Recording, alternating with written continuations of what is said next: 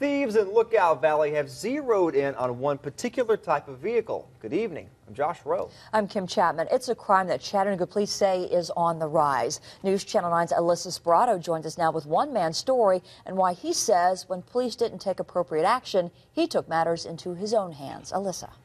That's right, Kim Josh. Kenneth Arrington says his two most prized possessions are his motorcycle and his four wheeler. So when his Honda Rancher ATV went missing one morning last month, he immediately contacted police.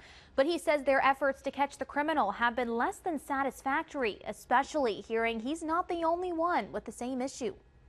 Shock never thought about it happening, especially right here. Kenneth Arrington says he's lived at his Winter Lane home for eight years without any issues until he woke up one morning to see both his ATV and trailer gone. Thieves that came in through the night, uh, cut the lock off the coupler, hooked everything and pulled it out, even right here under the security light.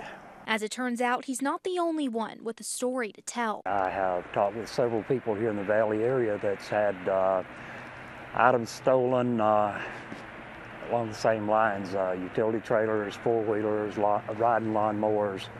Uh, like I say, just seems to be quite a bit of it going on out here right now. Numbers from the Chattanooga Police Department back up that claim. Chattanooga Police spokesperson Officer Timothy McFarland says there have been eight reports of ATV theft so far this year, all in that same area.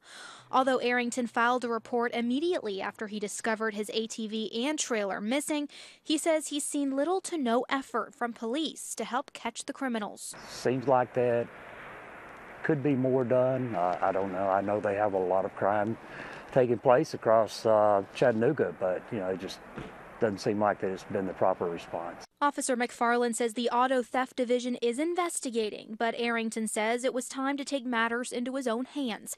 He's installed security cameras like this one around his home and handed out flyers within a 50 mile radius. People should not have to worry about their property being stolen the way that seems to be out here right now.